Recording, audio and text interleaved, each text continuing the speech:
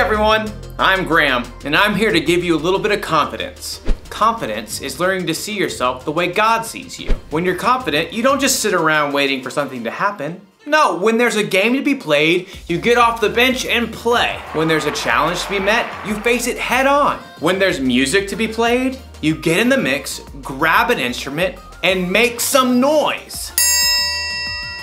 See what I mean? Confidence. Believe it or not, some people think the triangle isn't that important of an instrument. The band could get along just fine without it. But we know better, don't we? I mean, how else would you know when someone on TV had a good idea? Or how would you know when someone had the right answer on a game show? The answer is the Yangtze River.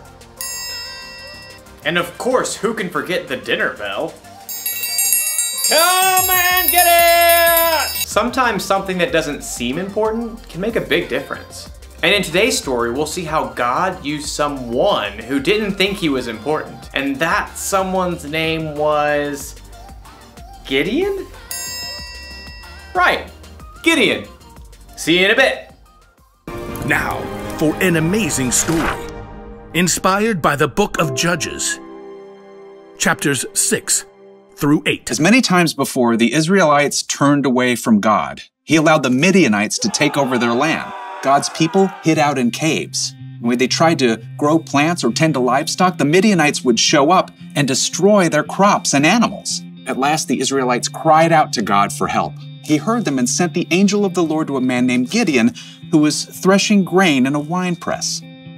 Mighty warrior, the Lord is with you. All Gideon could do for a moment was stop and stare. Uh, uh, pardon me, sir. You, you said the Lord is with us?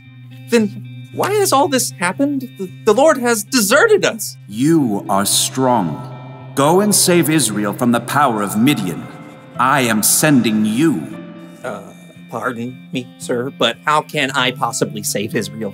My, my family is the weakest in the tribe, and I'm the least important member. I will be with you. Even with a direct message from the Lord, Gideon was still nervous about the whole thing. Uh, give me a special sign. Then I'll know it's really you talking to me. So God gave Gideon a sign, sending fire to burn up meat and bread. God's spirit was with Gideon, and when the Midianites and the Amalekites gathered to attack, Gideon sounded a trumpet for the Israelites to follow. But even as the army gathered, Gideon once again pleaded to God for another sign. God responded by letting dew fall on a fleece, and then on the next day, only on the ground surrounding it. Okay. Okay. I've got it. Thank you. At last, Gideon was convinced God wanted to use him. He camped with 32,000 men at the spring of Harod and prepared for battle. Here, God spoke again. I want to hand Midian over to you, but you have too many men too many? Israel might brag, My own strength has saved me. Announce to the army, Those who tremble with fear can turn back. Gideon did just as the Lord instructed. There, Lord. 22,000 men have gone home. Only 10,000 left to fight. There are still too many men. Have you seen the Midianite army? Take the men down to the water. There I will reduce the number of them for you. Even though it must have worried Gideon to lose more of his army, he did just as the Lord said. Field trip to the lake, everyone! At the water's edge, the Lord said, Some men will drink the way dogs do. They will lap up the water with their tongues. Separate them from those who get down on their knees to drink. Gideon watched carefully. Most men got on their knees and drank directly from the water, but 300 men cupped the water in their hands and lifted them to their mouths to lap. So, God, I send those 300 men home and keep the other 9,700, right? With the help of the 300 men who lapped up the water, I will save you. Let all the other men go home. Oh. Um, okay. Yes. Gideon sent home every single person in the army except those 300 men. Get some sleep. Tomorrow we will figure out what's next. That night, the Lord spoke to Gideon once more. Get up. What? Oh, uh, I'm awake. Gideon stumbled out of his tent. Below, the campfires and torches of the enemy armies covered the entire valley. So many. Like like a swarm of locusts. Go down to the camp. Listen to what they are saying. After that, you will not be afraid to attack. Wondering if he might be dreaming, Gideon snuck down the mountain to hover in the shadows at the edge of the camp. He could hear voices from a nearby tent. I had a dream. A round loaf of barley bread came rolling into the camp. It hit the tent with great force and knocked it flat. Wow, but that can only be the sword of Gideon from Israel. God has given him the whole camp. Gideon listened in shock. Wow, God. Thank you. At once, Gideon scrambled back up the hill to the Israelite camp.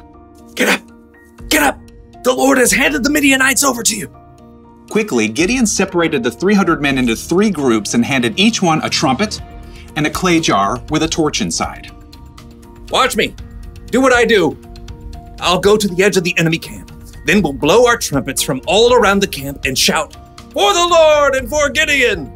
Gideon and his men headed quietly down the slope, fanning out in groups to surround the vast enemy camp. Okay, get ready. As soon as Gideon sounded his trumpet, he smashed his jar so the torch shone brightly. The other 300 men did the same.